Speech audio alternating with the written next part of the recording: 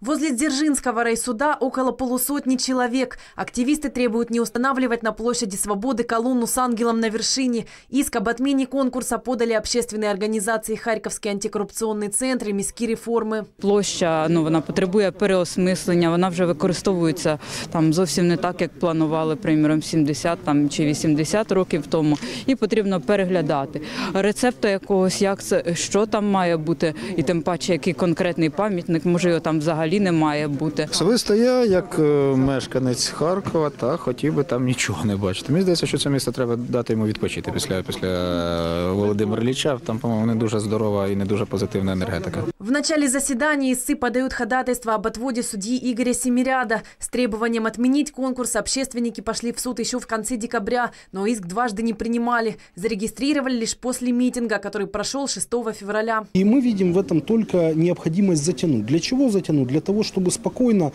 2 числа судья открывает производство по делу, а 3 собирается жюри и подводит итоги. Відповідно до частини 4 статті 27 КАС України, у випадку, якщо є підстави сумніватися у неупередженості судді, він підлягає відводу. З цих підстав на підставі частини 4 статті 27 ми вимагаємо розглянути нашу заяву про відвід та постановити ухвалу про відвід судді Семіря.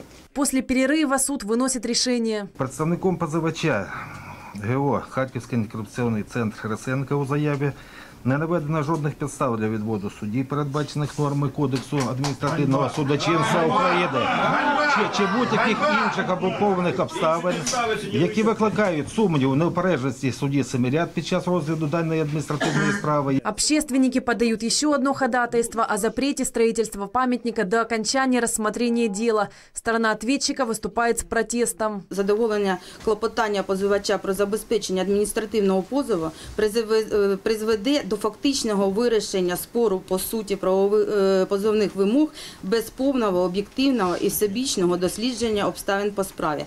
Крім того, не надано будь яких інших е, ріш- рішень чи інших доказів, що підтверджують протиправність вказаного рішення. Второе ходатайство общественных организаций судья также оставил без удовлетворения. Слушание продолжится в следующий понедельник, 20 февраля. Юлия Семененко, Елена Нагорная и Павел Велицкий. Медиагруппа «Объектив».